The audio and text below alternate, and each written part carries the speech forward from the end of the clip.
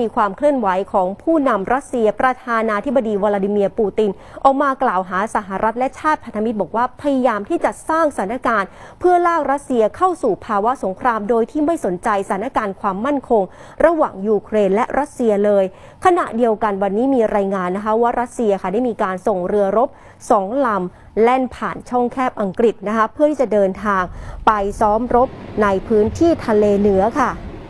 และปฏิบัติการดังกล่าวนะคะก็ทำให้เรือรบของกองทัพเรือรัสเซียทั้งสองลำที่มีชื่อว่าซูบราซิเทลนีและสตอยคีได้แล่นผ่านช่องแคบอังกฤษ ในห้วงเวลาเดียวกันกับที่นายกรัฐมนตรีบอริสจอห์นสันผู้นำของอังกฤษ เดินทางไปยูเครนเพื่อหารือกับประธานาธิบดีเซเลนสกี้ของยูเครนท่ามกลางความตึงเครียดที่เกิดขึ้นระหว่างยูเครนและรัสเซีย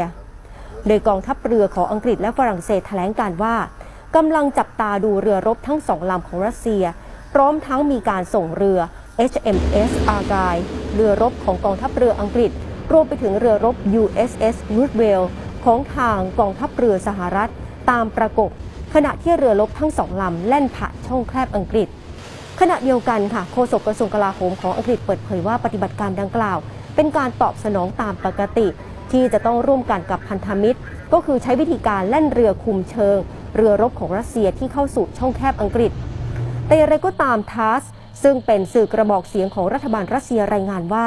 เรือรบสองลำได้แล่นออกจากเมืองคาลินินกราดตั้งแต่วันที่ 24 มกราคมที่ผ่านมาเพื่อไปทำการซ้อมรบในพื้นที่ทะเลเหนือ และทุกมหาสมุทรของรัสเซียในเดือนกุมภาพันธ์นี้ค่ะ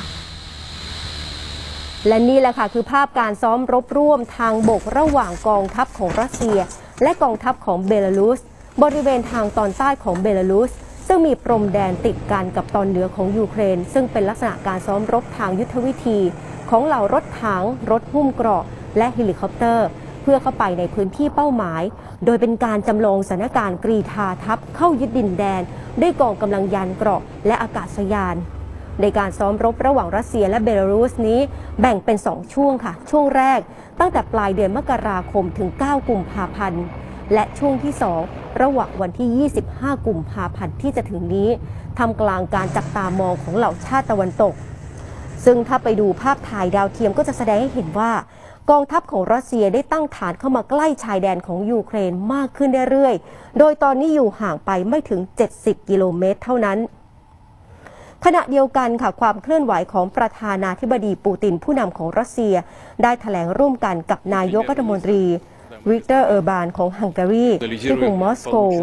โดยมีการกล่าวหาสหรัฐ และโลกตะวันตกว่า จงใจที่จะสร้างสถานการณ์เพื่อลากรัสเซียเข้าสู่สงคราม โดยที่ไม่สนใจถึงความกังวลใจด้านความมั่นคงระหว่างรัสเซีย ในกรณียูเครนเลย ที่หวังจะเข้าเป็นสมาชิกนาโตซึ่งหากนาโตยอมรับยูเครนเข้าเป็นสมาชิก แล้วพยายามจะทวงคืนคาบสมุทรไครเมียที่รัสเซียผนวกดินแดนมาเป็นของตน เมื่อปี 2557 นั่นจะเป็นปัญหาหรือไม่ซึ่งหากลองจินตนาการดูว่ายูเครนได้เข้าเป็นสมาชิกนาโตและเริ่มปฏิบัติการทางทหารเหล่านี้ รัสเซียควรจะทำสงครามกับกลุ่มนาโตหรือไม่ มีใครคิดถึงเรื่องนี้หรือไม่ และชัดเจนว่าไม่มี นี่แหละค่ะคือความเคลื่อนไหวล่าสุดของผู้นำปูตินค่ะ ส่วนทางสำนักข่าวรอยเตอร์รายงานว่า ผ่านมาเกือบ 8 ปีแล้วหลังจากที่รัสเซียได้เข้ายึดไครเมีย และสนับสนุนนักรบแบ่งแยกดินแดนในดอนบาส ทางตะวันออกของยูเครน โดยยูเครนได้กลายเป็นปัจจัยที่จุดชนวนการเผชิญหน้าที่อันตรายที่สุด ระหว่างชาติตะวันออกกับตะวันตก นับตั้งแต่ยุคสงครามเย็น ขณะที่ประธานาธิบดีของยูเครนเปิดเผยว่า มันจะไม่ใช่สงครามระหว่างยูเครนและรัสเซียเท่านั้น แต่นี่จะเป็นสงครามในยุโรป ซึ่งก็จะเป็นสงครามเต็มรูปแบบ เขาเชื่อว่ามาตรการคว่ำบาตรเพื่อยับยั้งรัสเซียนั้นจะสามารถป้องกัน ไม่ให้สถานการณ์ในครั้งนี้เลวร้ายลงได้ โดยเฉพาะหากประธานาธิบดีปูตินเอง ถูกคว่ำบาตรไปด้วยค่ะ